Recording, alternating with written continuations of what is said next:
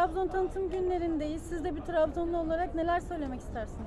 Evet İstanbul Büyükşehir Belediyesi'nin böyle bir güzel mekanı hemşeri e, gruplarına ayırması çok güzel oldu. Bizler de hem e, memleketimizin kültürünü, örfünü, ananesini burada yaşatan bu organizasyona gelmek, hemşerilerimizle bir arada olmak, dernek başkanlarımızla İstanbul Büyükşehir Belediyesi'nde çalışan bürokrat arkadaşlarımızla burayı ziyaret ediyoruz. E, güzel bir hizmet. E, tabii bizim için asıl olan aynı zamanda İstanbulluluktur. E, memleketimizin değerlerini yaşatarak bir taraftan da İstanbullulu olmanın da keyfini yaşamak istiyoruz.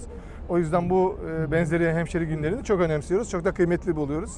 İnşallah e, ülkemizin, insanlarımızın birliklerine, bütünlüğüne, e, ortak yaşama e, kültürüne bu bizim kültürümüzün de bir katkısı olur diye düşünüyoruz. Beylikdüzü'ne mesajınız var mı? Evet benim bir sürü memleketim var. Bir tanesi Trabzon, bir tanesi Beylikdüzü ve bir tanesi de İstanbul.